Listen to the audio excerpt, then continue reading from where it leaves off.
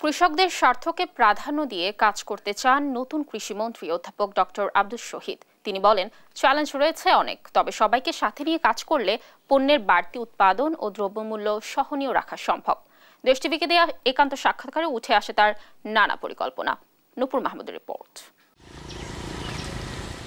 কৃষি প্রধান বাংলাদেশের অন্যতম বৈশিষ্ট্য উর্বর ভূমি আর সহজে কৃষি পণ্যের উৎপাদন।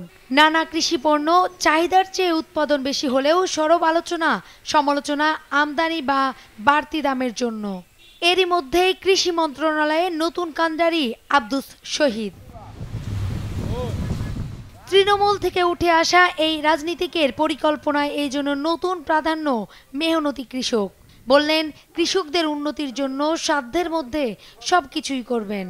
ফসল যেটা উৎপাদিত হবে ন্যায্য মূল্য পাওয়ার জন্য, তাদের যেমন ডিমান্ড অ্যান্ড সাপ্লাই চেনকে আমরা আরও বেগবান করতে হবে। যেমন সাপ্লাই যদি যথাসময়ে না হয়, তাহলে ডিমান্ডার থাকবে না। চাহিদা কমে যাবে। তাই চাহিদা যদি সঠিকভাবে মানে পূরণ করতে হয়, তাহলে সাপ্লাইকে আমরা আরও গতিশীল করতে হবে। যেখানে বছর জুড়ে দ্রব্যমূল্য নিয়ে হাই হুতাশ, সেখানে কৃষিতে পর্যাপ্ত উৎপাদনই বড় চ্যালেঞ্জ বলে মনে করেন এই মন্ত্রী। কৃষকরা যাতে স্বাচ্ছন্দ্যে যাতে কৃষিকর্ম করতে পারে, তার জন্য তাদের যেমন বীজ, তারপরে তাদের সার, তারপরে বিদ্যুৎ বা পাম্প এগুলার কি বলে ইনপুট সাপোর্ট যখন যেভাবে দেওয়া উচিত, অতীতে যা হয়েছে তাছাড়া যাতে বাড়ানো যায়, তার জন্য আমরা চেষ্টা করব। এটা হচ্ছে একটা চ্যালেঞ্জ আমাদের। মন্ত্রী বলেন, সরকারি বেসরকারি অংশীজন কৃষক, ব্যবসায়ী কৃষি খাতের উন্নয়ন এগোতে হবে সবাইকে সাথে নিয়েই। উৎপাদনের ক্ষেত্রে আমাদের ভূমিকা আছে কৃষিপণ্য উৎপাদন। যদি ঠিক মতন না হয় তাহলে মূল্যবৃদ্ধির সম্ভাবনা থাকতেই পারে। তো এখন যেটা হচ্ছে, যেমন ধান, চাউল, এগুলো হলো আমাদের মূল পণ্য। এই ধান, চাউল আমরা এখন বুড়ো ফসল হয়েছে। কী বলে, আমন শেষ হয়েছে, বুড়ো শুরু হবে।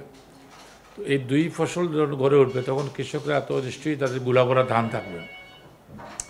সেই কারণে চাউল মূল্য চাউলের মূল্যবৃদ্ধির সম্ভাবনা ক্ষীণ।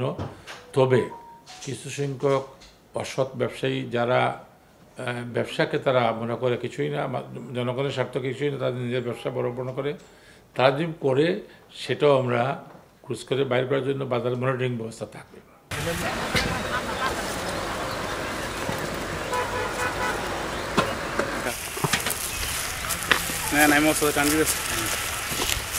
তবে দৃশ্যমান পদক্ষেপের আগে দেখে শুনেই ধাপ ফেলতে চান কৃষিমন্ত্রী। নুপুর মাহমুদ, দেশ টিভি, ঢাকা।